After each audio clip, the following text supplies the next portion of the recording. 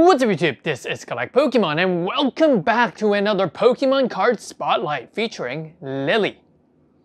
the character rare, or actually Clefairy, the character rare.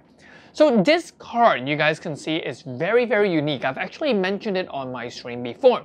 This is a Japanese exclusive character rare which was released together with a uh, with the Dream League booster box. And I think that if I did not remember wrong, is that if you purchase a box, a booster box of Dream League, they would give you this card. So in terms of rarity, it's actually not that rare, but in terms of uniqueness, I do believe that it is very, very unique. Well, first of all, let's just talk about the card. The card is consists of Lillie with a Clefairy. And we can see that, you know, Lillie, the outfit of Lillie, you know, to satisfy that kind of waifu concept, meaning that, you know, she's cute, you know, and, you know, she's wearing like a mini skirt. Um, I think it's almost like she's in uniform um, and with the Clefairy. The artwork itself actually presents the image that they're all pointing at a certain direction, on to the right. So um, yeah, so you can see that Clefairy is also pointing the right, same with Lillie, as well as the sign from behind. So, you know, this just makes it a very, very unique artwork and very, very Japanese exclusive. And we know that character rares are unlikely to come back to Pokemon for a while. So what that means is that, um, you know, if you want to complete the full set of character rare, this will be the card to look for. And in the long run, I think that it's going to make this a alternative, uh, not exactly an alternative, but it would make it unique for people who are collecting Japanese character rare cards. Because traditionally, what we think about Japanese cards, especially in the main set, is that it is an alternative to English. I mean, if we look at the Burning Shadow Charizard, uh, Hyper Rare, and the, uh, have you seen the Rainbow Light SM3H Japanese version of that card, the Japanese is always going to be cheaper than the English one. Same for Hidden Fate, same for, I'm pretty sure, all the other sets. So traditionally, you know, we might expect the character rare cards in English to be of a higher price than Japanese. But, you know, I think this card will try to bring that gap closer together because, you know, there would be a different group of individuals who will want this card and they might actually collect the Japanese version instead of the English version simply because there is this unique card that can only be found in Japanese. Now, another question that people would like to ask is, will this get printed in English? And I mean, even though we can't be 100% certain, I would say it is very unlikely. And the reason for that is um, Cosmic Eclipse has been out for more than a year.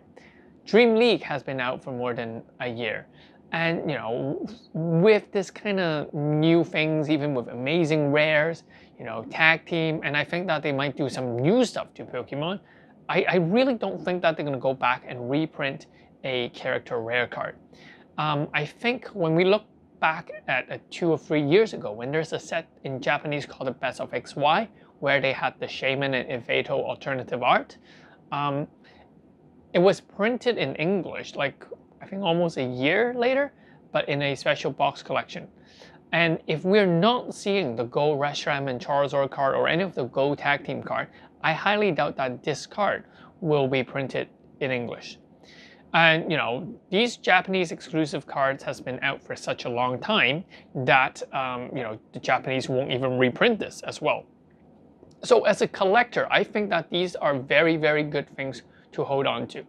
Um, the price of it being now is around 100 USD each. The graded one I haven't actually checked, but you know, in the long run, you know, would you invest in it? I mean, I wouldn't go like all in, you know, buy 10s and 20s of copies. I might buy two. I mean, buying two copies, because I said when in doubt, buy two, right? That's the rule.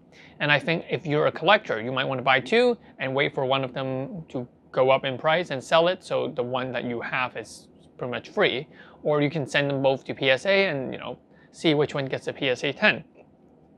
So before buying, there's also one thing to look out for. This card has been out for a year, and you really should be able to check the quality of the cards if you're buying on eBay. Because um, what I'm seeing is that, like I said in my previous video, a lot of um, the Japanese cards that you buy that are suggested to be near mint are really not near mint. Because a lot of people know, I mean, in Japan, they really know the concept of PSA grading and stuff. So a lot of the time, they would pick out the ones that are mint and they would send out the ones that are not mint. So yeah, that's pretty much it. I mean, let's take a closer look at these cards. So um, you guys can see that's Clefairy. And you know, the look on um, Lillie's face is it's very, very cute. You can see like, you know, she just have this really, really like good smile, nice smile with a little red cheek. It's, it's, it's just great. It's just great and you know the hand and her hand is very similar. So this is definitely going to be a very very good collectible card. So um yeah, character rare. So I'll be sending mine off to PSA very soon, and that's pretty much that. Um, hit the like, hit the subscribe, and let me know what you think. Have you bought this already, or are you going to buy this? Um, yeah, see you guys soon. This is Collect Pokemon. Peace out.